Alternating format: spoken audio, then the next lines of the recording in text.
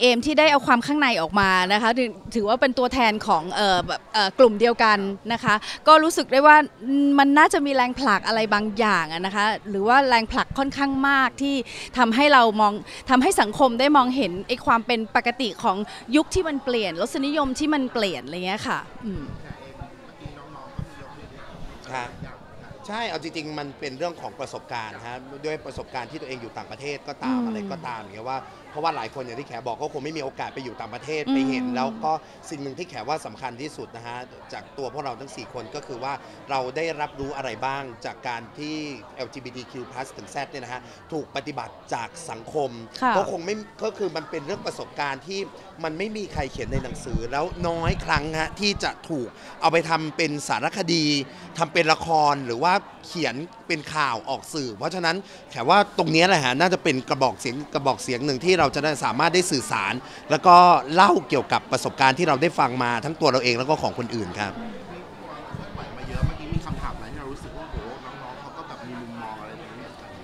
จริง ๆคำถามเหล่านี้เราเคยได้เจอมาหมดแล้วนะคะ ก็เราคิดว่าสิ่งที่พวกเราสี่คนพยายามที่จะสื่อสารคือ มนุษย์ทุกคนต้องมีทางเลือกอะ่ะแล้วก็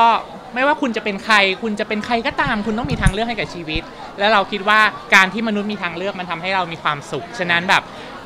มมันมันเป็นลอจิกที่เข้าใจง่ายมากเลย เราต้องการมีทางเลือก และเราต้องการมีความสุขเท่านั้นเองอะนะคะทีนี้อ่าดูเหมือนกฎหมายอะไรมันจะมีไปในทางที่ดีขึ้นพวกเราคาดหวังอะไรมากที่สุดครับพี่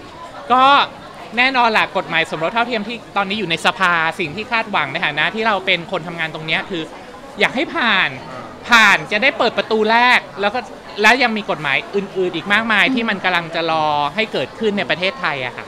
สิทธิต่างๆที่เราพูดกันมาในวันนี้มันสำคัญมากๆขนาดไหนครับพี่นุ่นจริง ๆสำคัญมากนะคะ เพราะว่ามันคือการใช้ชีวิตเราไม่ได้มาเรียกร้องไอ้สิ่งที่มันเกินไปกว่าการใช้ชีวิตเลย แต่ว่าเพียงแค่ว่าอยากให้มองเห็นว่าทุกคนเนี่ยได้ใช้ได้ใช้ชีวิตร่วมกันอย่างผาสุกค่ะ ตลอดอืมเ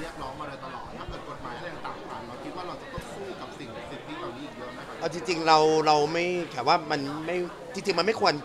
มีการที่มาต้องมาเรียกร้องต่อสู้อะไรพวกเนี้ยครับเพราะว่าจริงๆแล้วตั้งแต่เราเกิดมาอืมเรามีสิทธิ์แล้วแขกก็เชื่อว่าหลายคนคงก็ไม่รู้ที่เป็น LGBTQ+ นะฮะด้วยชีวิตสังคมที่ถูกใช้มาห้ามเป็นตุ๊ดห้ามเป็นนู้นเป็นตุ๊ดไม่ดีก็คงไม่รู้ว่าจริง ๆ แล้วว่าเราทุกคนมีสิทธิ์อะไรบ้างที่เราจะสามารถใช้ชีวิตอยู่ในสังคมกับกับสิ่งที่เราไปทำงานอยู่ในสังคม แล้วก็ เราควรได้อะไรคืนจากรัฐที่เป็นเขาเรียกว่ากฎหมายที่จะปกป้องแล้วก็คุ้มครองเราบ้าง เพราะจริง ๆ แล้วรัฐบาลนะฮะก็คือเราเลือกมาสิ่งพวกนี้ที่เราเลือกมาก็คือเพื่อผลประโยชน์ต่อพวกเราทุกคนอืมไม่ว่าจะเป็น LGBTQ+ คนแก่หรือว่าแม้กระทั่งคนพิการ อันนี้ก็คือสิ่งที่เราจะต้องได้รับการดูแลอย่างถูกต้อง แล้วก็ได้แบบเต็มร้อยครับ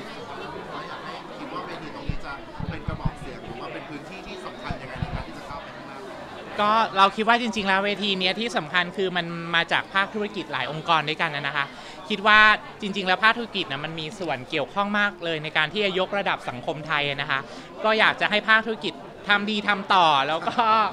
เอ่อทำให้ดียิ่งขึ้นนะคะเอ่อ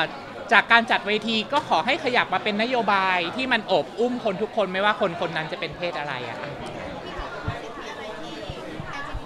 ใหญ่ เอาจริงๆยังเข้าไม่ถึงก็อย่างที่บอกตอนนี้ก็แขมาปุ๊บแขก็ถามเลยเนาะก็น่าจะเป็นเรื่องการเป็นผู้ปกครองอะไรอย่างเงี้ยครับก็ก็ในส่วนที่เหลือก็คือสามารถแต่งงานอะไรได้ปกติแล้ว ตอนนี้ก็เหลือแต่ว่าการเป็นบุพการีอะไรอย่างเงี้ยครับเพราะว่าจริง ๆ ก็อยากจริง ๆ อยากให้เชื่อมั่นอย่างหนึ่งฮะว่าถึงแม้ ในอดีตหรือว่าอะไรก็ตามที่เราจะถูกมองว่าเป็นกลุ่มคนที่แปลกประหลาดอะไรเงี้ยแต่จริง ๆ แล้วเราเราเป็นบุคคลคนหนึ่งฮะถึงแม้วันหนึ่งเรามีลูกเอง เราก็จะเชื่อว่าเราสามารถเลี้ยงเด็กคนนั้นน่ะให้มาเป็นคนดีได้ เพราะฉะนั้นพอเราใช้ชีวิตมาถึงตอนนี้ยแขว่า 3 คนเราก็คงเชื่อเหมือนกันว่า จริง ๆ แล้วเราไม่ได้รู้สึกว่าเราแตกต่างอะไรจากคนอื่นเลย แล้วเราก็ก็มีความฝันเหมือนคนอื่นปกติ แล้วก็อยากทำงานแล้วก็อยากใช้ชีวิตได้ให้ให้มีความสุขแฮปปี้เหมือนคนปกติทั่วไปครับ ก็น่าจะเป็นในเรื่องของแบบพวกอะไรนะคะมรดกหรือว่าอะไรก็แล้วแต่ที่ที่มันยังไม่ได้ร้อยเปอร์เซ็นต์นะคะเพราะว่าสิ่งเหล่านี้มันมันมันมันคือการที่จะดำรงชีวิตได้ได้อย่างแบบอะไรนะคะ เอาใหม่ตรงนี้เอาไปลงนิดหนึ่งเหรอโอ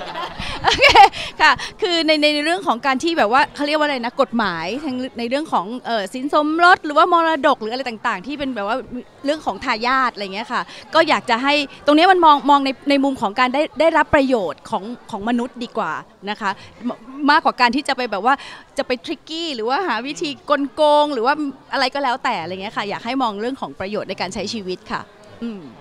ครับ คนไทยรู้จักกฎหมายสมรสเท่าเทียมเยอะแล้ว แต่ว่าตอนนี้ภาคประชาชนมีอีกหนึ่งกฎหมายที่กำลังจะดันเข้าสู่สภานะคะ ก็คือกฎหมายรับรองอัตลักษณ์ทางเพศสภาพ คือกฎหมายที่เราสามารถที่จะเลือกเพศบนเอกสารทางราชการได้สำหรับคนข้ามเพศ คนที่เป็น non binary คนที่เป็น intersex อันนี้ก็อยากจะฝากที่สื่อมวลชนนะคะ ช่วยสื่อสารให้เราด้วย เพราะว่าคนไทยยังไม่รู้จักคนไทยยังไม่รู้เลยว่าเอ้ยสิทธิตรงเนี้ยมัน คนข้ามเพศจะต้องเผชิญอะไรบ้าง แล้วก็ทำไมกฎหมายนี้มันถึงสำคัญกับคนที่เป็นคนข้ามเพศก็อาจจะฝากที่สื่อมวลชนนะคะในการสื่อสารแล้วก็ช่วงกลางปีนี้พรบร่างพรบของภาคประชาชนร่าง รับรองอัตลักษณ์ทางเพศสภาพเนี่ยจะเดินทางเข้าสู่สภาแน่นอนค่ะ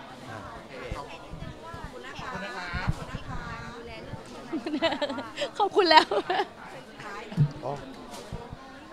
อ๋ออ๋อในเรื่องในเรื่องของของลูกถ้าถามส่วนตัวก็คงไม่แล้วฮะก็คงน่าจะอยากทำงานเที่ยวอะไรเงี้ยแต่ถามว่าเคยมีคิดก่อนหน้านั้น ก็ก็คิดแต่อย่างที่บอกแหละมีลูกก็ภาระแหละ ถ้าถามส่วนตัวนะ ก็เราก็เลือกอะตัดภาระตรงนั้นลึกไปดีกว่า แต่ถามว่าถ้าวันหนึ่งพี่อยากจะมีลูกร้อยเปอร์เซ็นต์ตอนเนี้ยพี่กลับไปสวีเดนพี่สามารถได้สิทธิ์ในการที่มีบุตรได้แบบร้อยเปอร์เซ็นต์เลยครับ